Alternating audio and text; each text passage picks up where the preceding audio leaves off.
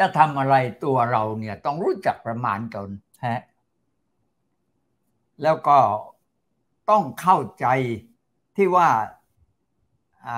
การศึกษาเนี่ยมันมีความสำคัญอยู่ตรงเนี้ย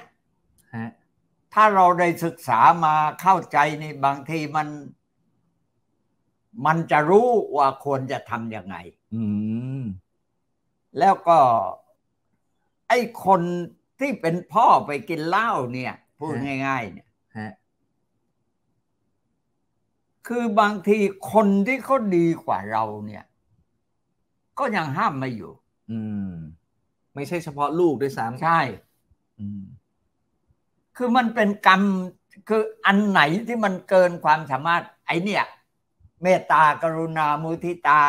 อุเบกขา เนี่ยอื มฮะมันต้องใช้ดูก่อน แต่ไม่ใช่ใช้ด้วยความโทสะโมหะฮะหลงงมงายนะฮะต้องปล่อยวาง ไม่ใช่ตัดหางปล่อยวัดอ่าพอถึงเวลาไอ้สามอย่างนี้เอาแล้วช่วยแล้ว เมตตากรุณามุทิตานี่ทำแล้ว ถ้ามันยังไปไม่ไหวก็ต้องอุเบกขา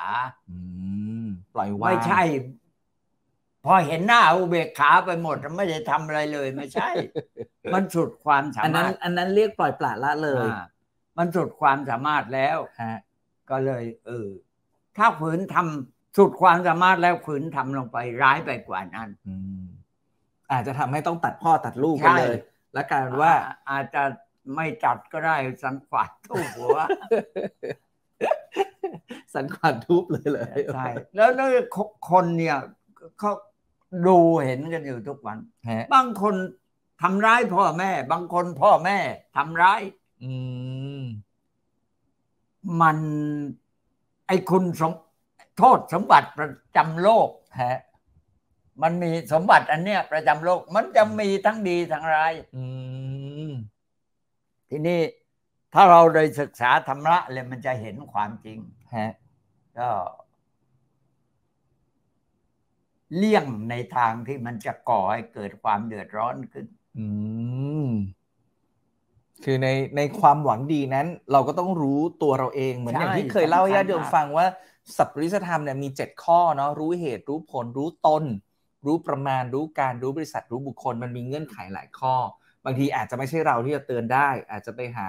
คนอื่นมาหรือแม้กระทั่งตอนที่โยมพ่อพูดตอนต้นว่า บางคนต่อให้มีคุณสมบัติสูงกว่าเราอะ พ่อยังไม่ฟังเลย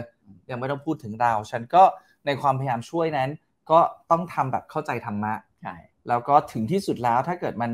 ทำดีที่สุดแล้วมันทำอะไรไม่ได้ ก็อย่าให้เป็นความขุ่นข้องหมองใจของเรา เราก็อุเบกขาหรือปล่อยวางวางใจเป็นกลางซะพยายามเหมือนเดิมห่วงใยเหมือนเดิม แต่อย่าไปอย่าไปหงุดหงิดเอง อันนี้สำคัญมากเนาะไอ้นี่แหละมันมีคุณค่าเรื่องกัลยาณมิตรฮะอืมยังไงที่ให้จะพ่อช่วย อืม ถ้าเราทำเองไม่ได้ ก็ต้องไปหากัลยาณมิตรฮะมาช่วยเอออ่า อาจจะได้ฮะเพราะว่ากัลยาณมิตรเนี่ยเป็นคนดีที่ไว้ใจได้แล้วฮะอืม คือถ้าบางทีมันเกินกำลังเราก็ไปหาการมิตรมาช่วยแนะนำใช่อันเนี้ยเอ่ออันเนี้ยต้องสมดุลเนาะ อย่างที่โยมพ่อพูดตอนต้นหนึ่งก็คือช่วยทำหน้าที่เต็มที่แต่รู้รู้หลัก รู้ว่าตัวเราเองทำอะไรได้แค่ไหน รู้ว่าพ่อจะฟังได้แค่ไหน อันที่สองไทเมื่อมันทำทุกอย่างดีที่สุดแล้วมันแก้ไขอะไรไม่ได้ ก็วางใจเป็นกลางหรืออุเบกขาให้ได้สำหรับอาตมาเนี่ยมีประสบการณ์เหล่านี้บ่อยเนาะเพราะบางทีเราจะมีความรู้สึกว่าเราพยายามช่วยคนคนหนึ่งอย่างเต็มที่ละ เราจะรู้ได้ยังไงว่า เราควรจะยุติการช่วยตรงไหน บางทีเราอาจจะมีความรู้สึกว่าเอ้ยมันเหลืออีกนิดเดียวเขาอาจจะใกล้คิดได้ละ แต่บางทีมันอาจจะไม่ใช่ก็ได้ ซึ่งตัวเราก็ต้องพิจารณาเองเหมือนกันใช่ไหมยมพ่อกับอันสุดท้ายยมพ่อบอกว่าบางทีเราทำไม่ได้ แต่ไปหาคนที่มาเป็นการมิตรช่วยเขาก็ได้ อาจจะไม่ใช่เราที่พ่อฟัง อาจจะเป็นอาจจะเป็นพระรูปใดหรืออาจจะเป็น